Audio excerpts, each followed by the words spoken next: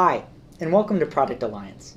Today, we're interviewing a senior Uber PM, and we'll be analyzing his answers to extract a few key techniques you'll need to ace your Uber interviews and land that sought after PM offer letter.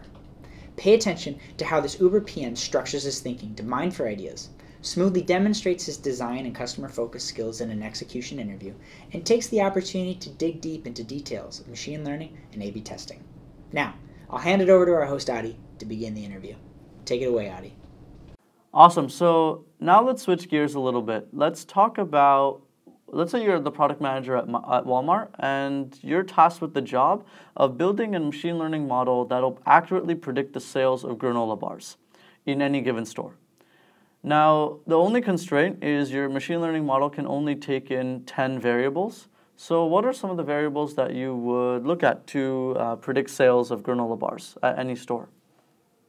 Cool. So, obviously, there's a ton of data out there. I think um, we're to have to figure out what are some of the what are some of the variables that are relevant and which are which ones are not. And then, in terms of the end objective for this question, what we want to get to is to first figure out the variables, and number two, figure out how we can determine whether those variables are good or not. Um, so for the first part, in terms of figuring out what kind of variables there are, um, we can actually break this down by thinking about um, time. Time is going to be a really valuable uh, valuable point because, um, for example, last week's data will say a lot about this week's, um, or last year's growth at this season is going to be really telling for this year's um, growth.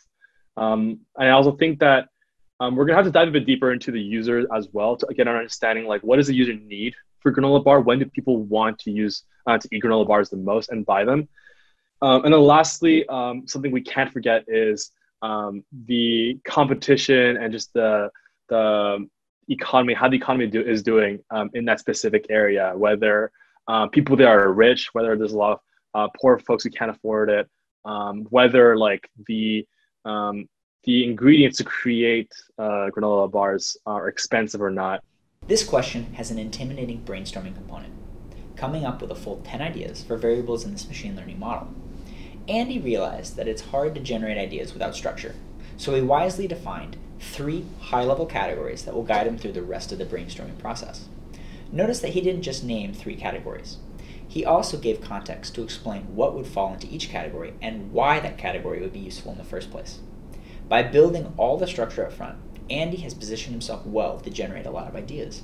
And he's also brought himself a lot of time to start thinking about ideas in the back of his head. The advantage to this approach, rather than taking one or two minutes to silently jot down ideas, is that you're showing your work and keeping your interviewer engaged. So let's first dive into like time and figuring out like what we can do with that uh, piece. So for that piece, um, there are several pieces for time. So number one is last week's data. If we look at last week's data, it's like um, if I saw hundred dollars of sales last week, it says a lot about how much I'm going to see this week. Um, there's a very low chance that if last week was hundred dollars, this week will be ten thousand dollars. It's very likely that if in the past it's always been trending like ten percent change over week over week, then my range will be nine dollars to one hundred ten dollars. So that already like um, limits how far my prediction will be. Uh, number two is seasonal, right? it'll change year over year. And so maybe you can get a sense of like last year, how much did it vary um, at this time of the year? Because maybe granola bars are very popular during um, the summertime because people are out and about, but then wintertime people are staying inside. Andy does a great job of calling out seasonality here. Most candidates will mention week over week, month over month, or year over year change, but they don't understand why you would pick one time frame over another Andy noticed that the granola bar sales will naturally fluctuate throughout the year. And he has good examples of sales rising in the summer when people are out, and he used that to justify his choice of a year over year changes in sales. Seasonality is really important dynamic for B2C or business to consumer products, since demand for those products usually varies throughout the year. In the case of Uber, for example, Uber ridership might increase in the winter and colder climates since walking around outside becomes less pleasant comparing summer ridership numbers to winter ridership numbers won't always be that useful. So, in general, make sure that you mention seasonality when you're interviewing for a consumer oriented team. And then, if we think about the user needs here, when do people want to be using, uh, to be eating granola bars? Uh, so, number one, it's like, if when do people feel hungry and crave for a granola bar. And some of the factors I can think about behind that um, for users are uh, number one, you're a kid and you go to school. So maybe it'd be really interesting to figure out um, how many schools are nearby. Um, I think that'd be really interesting to incorporate into the ML model. Uh, number two, um, I personally love eating granola bars after I work out at the gym. Um, and so I think it'd be really interesting to see how many gyms are nearby or like, um, or how many parks are nearby because I was um, out at a park um, doing a quick workout or going for a run. I want to pick up a little granola bar. Um, or number three, um, what else would be super interesting? let's see how many events are happening nearby. So that means there's a high density of people, and even if it's a very small percentage of of people who are interested in granola bar, because of the high volume, at least there will be uh, an increase. So, for example, Las Vegas would have a ton of events, right? Uh, Orlando in Florida, um, whereas the suburbs probably has very little events, and so we won't be seeing uh, as much consumption. Even though this is a brainstorming and metrics question, Andy seized the opportunity to showcase his design thinking and customer focused skills. He pushed himself to think of situations where consumers would want to buy granola bars, like going to the gym, eating lunch at school, or attending an event. And he put himself in the shoes of several different types of customers and thought about how the granola bars might address their needs and pain points. In other words, Andy injected some insights that you might usually find in a product design interview or brainstorming a metrics question. This technique is very powerful but only if used correctly. Andy didn't try to totally sidetrack his interviewer. Instead, he shifted gears for a few sentences, and during that time, he thought of some really useful ideas that helped him address his main question. And then the last thing that we'll look about look into is competition and also the economy. So, how is the economy doing? Um, are people employed? Um, because when we think about granola bars, um, per unit, they might actually have um, less calories than other food and so maybe some people might consider it as a luxury. Um, I'm not too sure, and so um, I think the economy is going to be a really important variable that we look at. Number two, competitors. If there are other stores that have a lot of granola bars that are cheaper, it's definitely going to be affecting your growth. So let's see, like um, for Walmart, how many other Whole Foods are nearby, or like Trader Joe's. Um, and then what else would be super valuable to look into? Um, Let's see.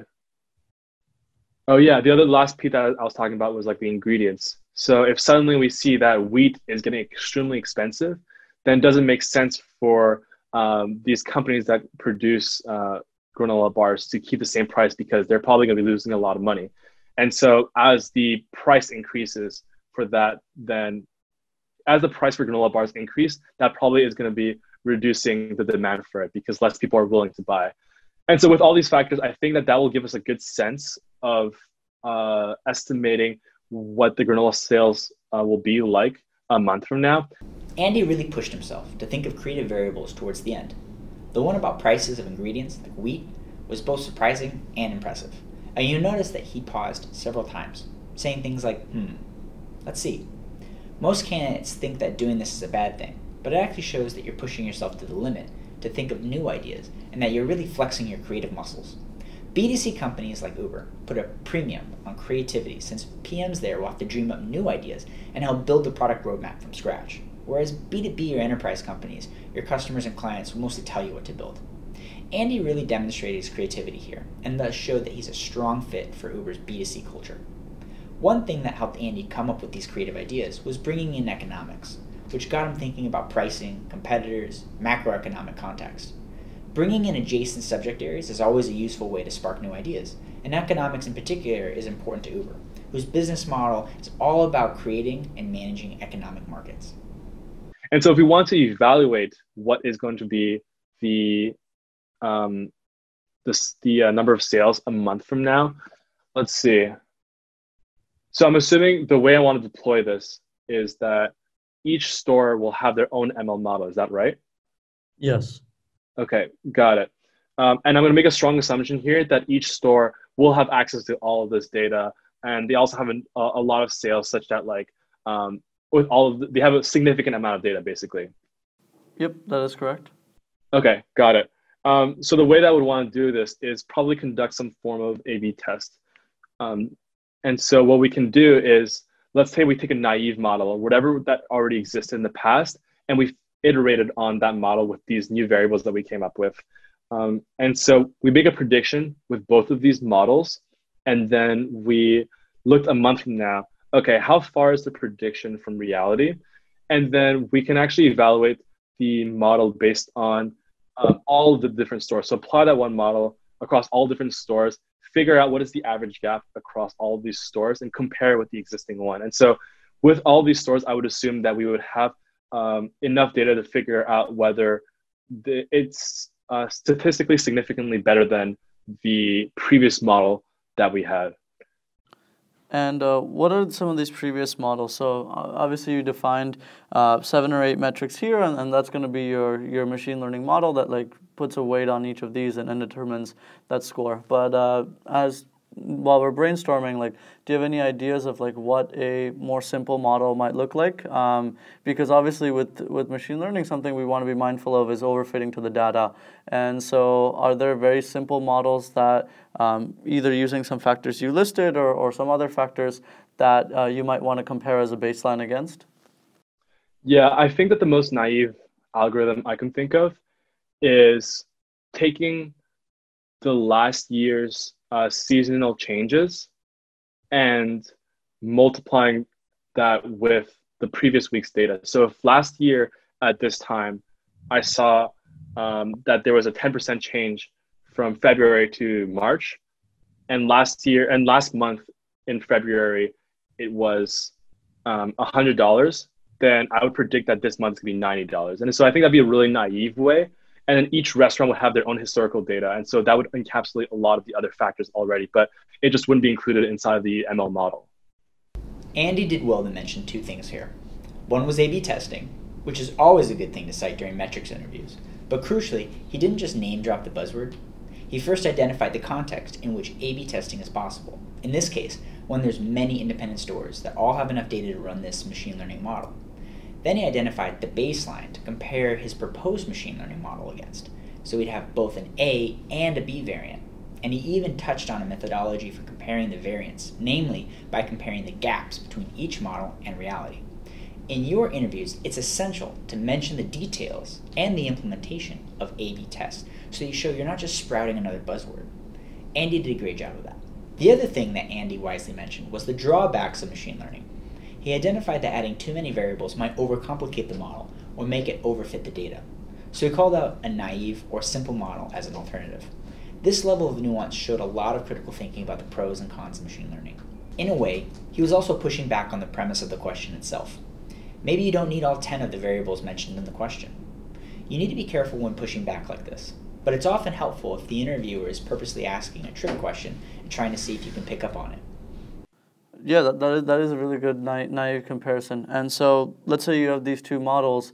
Uh, explain, I know you mentioned you would A-B test them against each other, but can you explain that a little bit more? How would you, um, let's say I give you one store location in uh, just outside of New York City, and that store gives you all of this data. You have your naive model running, and then you have uh, this seven or eight variable uh, machine learning model that you've made and you run them against each other. How long will your period be for testing? Um, wh- like, how, what's your like discrepancy? Like, how much further uh, increase in predictability does one model need to have versus the other? Like, how would you go about as these results come in?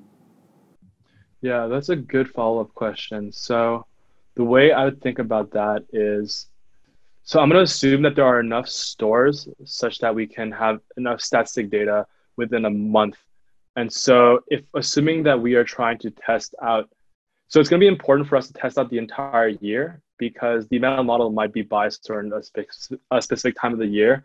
And it would be important for us to test out uh, throughout the entire year to make sure that it works under all circumstances, whether it's increasing or decreasing. And so um, I think it could be valuable to test over a year. And it really depends on what are the business needs right now. Do we think that we need to uh, get that model implemented right away? Or do we think that this could be a long term uh, thing that we're going to be testing out more locally and then rolling it out.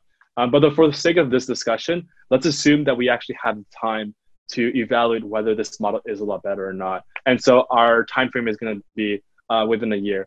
And I think a year is going to be a really good time because that's going to be capturing all the seasonality factors that might be affecting the ML model. Um, and so, in your example of New York, I have a store. Um, I would basically be testing out this model uh, month over month in a total of 12 times over an entire year, and figuring out how does it compare each time to the other model, um, and what is the discrepancy. Um, on an average, do we see that this discrepancy is better than the naive model that we previously had, or is it better? And then we can compile all the data across all different stores to make the final decision on whether it performs better or not. If we see that in some areas it performs better, but then others it isn't, then I think it's an opportunity for us to dive deeper into the data to figure out, okay, why does it work specifically here, um, but and but work better in other regions? And maybe it's because we are overfitting the data. Um, but if it works out in all regions, then I think that's a really great um, result. Awesome. Yeah, I love that little insight at the end about how uh, you would take that data and, and move it back in based on what you see, because that's you always have to be refining and making sure that uh, you're, you're not overfitting, but you're also taking new data sources that you learn about and, and integrating those uh, back into the model. So thank you. Thank you for that. So in this question, Andy did a really good job of stating his assumptions, validating those with me, then breaking down for different categories of groups how he would add features to this uh, machine learning model.